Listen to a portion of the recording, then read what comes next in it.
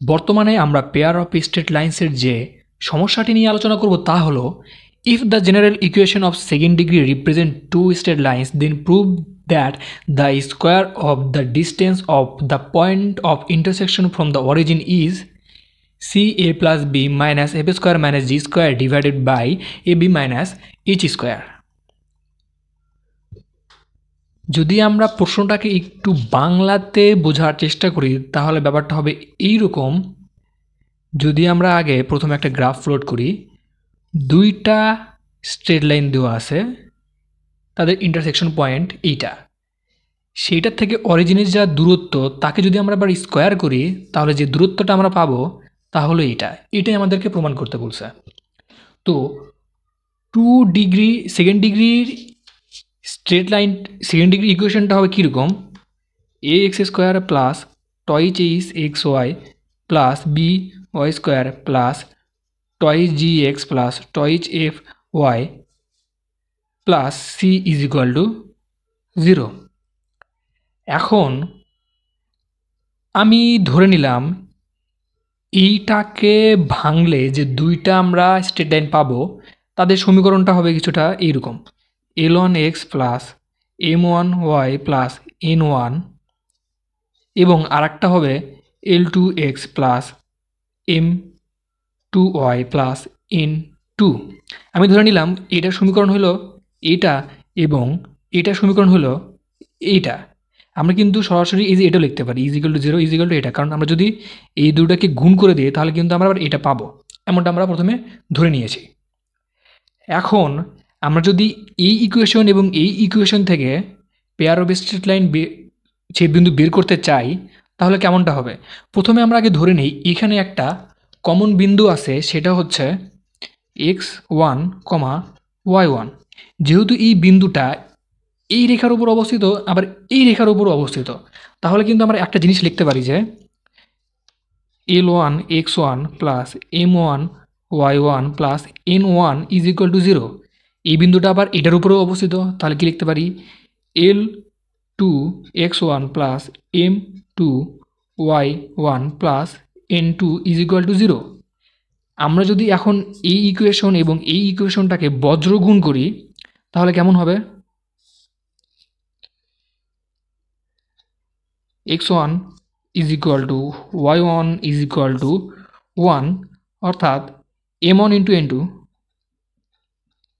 minus m two n one y ওয়ানের ক্ষেত্রে হবে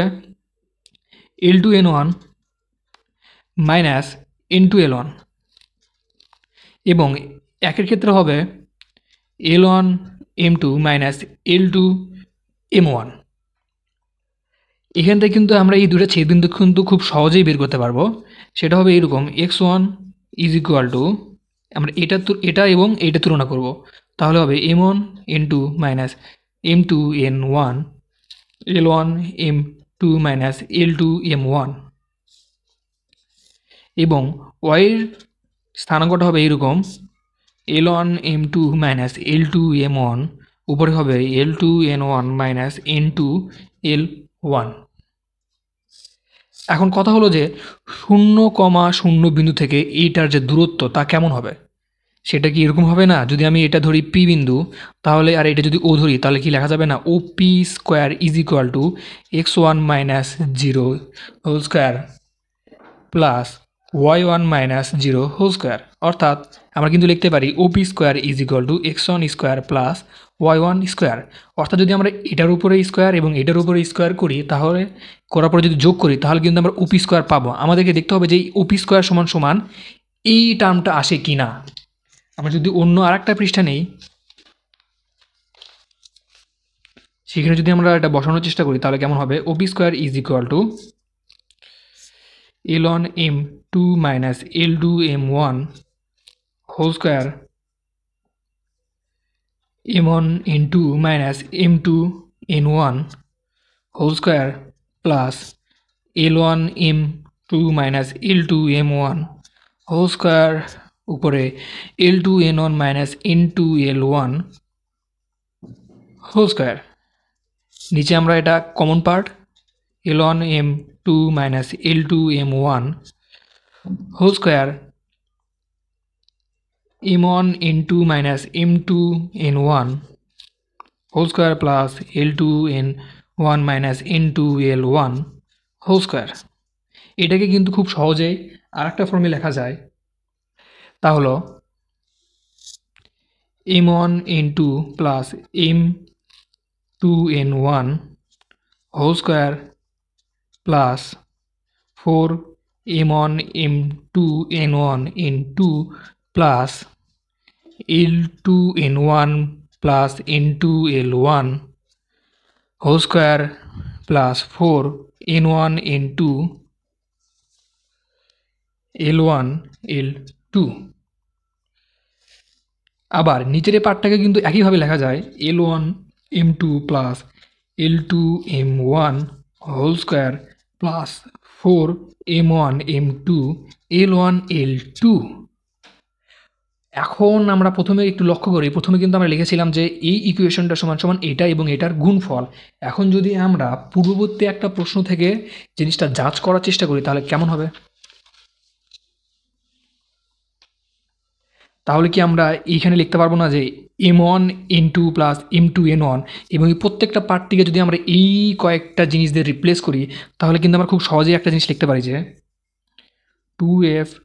whole square minus four b c plus twice g whole square plus four a c twice h whole square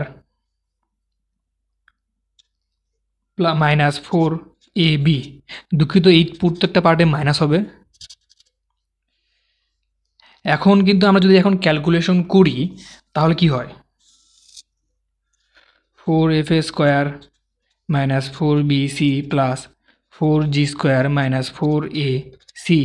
four h square minus four a b প্রথম কথা যে four four সবগুলো কিন্তু কাটা যাবে। তাহলে কিন্তু থাকে এইরকম যে f square plus g square minus bc minus ac divided by h square minus ab অর্থাৎ আমরা কিন্তু